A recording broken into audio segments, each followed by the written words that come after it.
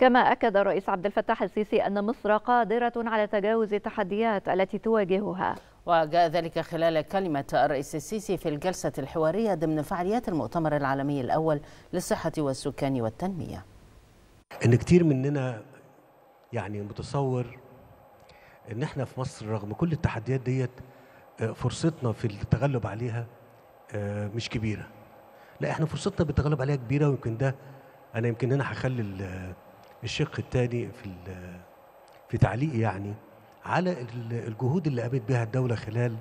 الثمان تسع سنين اللي فاتوا. رغم كل التحديات اللي مرت على مصر في العشر سنين دول لكن أقدر أقول لكم إن إحنا بذلنا جهد كبير جدا مش إحنا ك كقيادة أو كحكومة لا كدولة مصرية بشعبها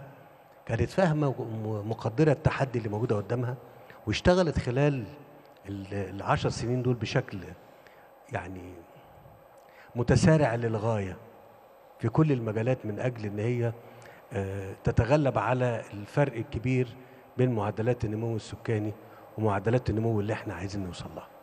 وحطت الدولة ويمكن إحنا موجودين النهارده هنا في العاصمة في المكان ده يمكن كتير من السادة الضيوف ما يعرفوش إن ده كان جزء من فكرة متكاملة للدولة المصرية للاستعداد للانطلاق لمستقبل أفضل لصالح مجتمعها.